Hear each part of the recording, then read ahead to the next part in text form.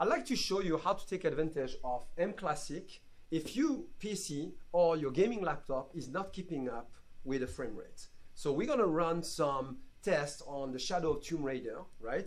The setup is pretty straightforward. I've got a gaming laptop, the HP Omen gaming laptop, uh, with an i7 and a GTX 1070 graphics card, right? And I've got side by side to speed up the demonstration two 1440p gaming monitor. So uh, the preset is in highest, right? As you can see, the resolution is 1440p. And what we're gonna start, we're gonna be starting by running basically a benchmark test, right? So let's see what happened.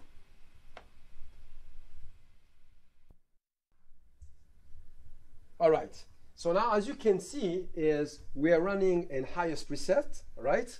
Uh, clearly the gaming laptop is having a hard time to keep up with the rendering frame rate. The average is about 39 to even like 39, 40 max, right? Uh, so clearly it's having a hard time to keep up with it. Let's check out quickly the resolution, right? It's rendering natively at 1440p, right? This is the settings. You can see on both monitors are set up exactly the same way. So 1440p on both sides, right? And now what I'd like to do, I'd like to say, okay, let's go back. Now, mClassic is set up in a default mode. The LED is green, right?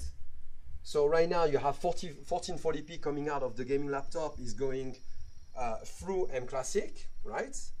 And now what I'm gonna do is without changing the setting of mClassic, I'm going to simply rerun the test, but this time is I'm going to ask the laptop to render hopefully at the highest frame at a low resolution 1080p and let mClassic re-render the content in real time at 1440p and let's see what happened to the frame rate, right? So I stay in highest settings, right? I'm just going to lower the rendering frame rate to 1920 by 1080 Okay.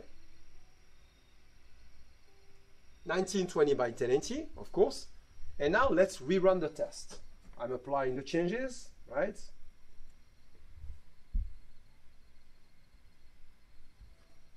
Okay.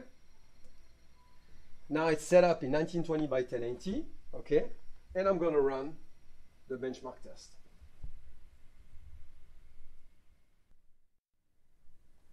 And Right now, what do I see? I clearly see, actually I see a drastic visual enhancement on the right side where mClassic, M Classic is plugged in. What we can notice is that on both screen right now, the graphics card is, is, cap is keeping up with the frame rate, so it's capable to render uh, in average 58 to 60 frames a second, which is great. Now, you know, the visual enhancement, the, the preset is still in highest, but clearly between the difference between the left and the right is quite drastic. Now let's look at what's happening. This is the original. Now, what we can see is 1920 by 1080. But what's good is at least I'm playing at a higher frame rate. But with mClassic, what happened is not only it looks better, but now, as you can see, the content is getting re-rendered at 60 Hertz, but now it's 1440p. In summary, uh, the benchmark at 1440p in average is 33 frames a second. Now in 1920 by 1080, it goes up to 60. Now let's look at the side-by-side uh, where let's check like natively, even though it was not playing in real time, let's look at 1440p, how the picture quality looks like compared to actually mClassic taking it from 1080p to 1440p.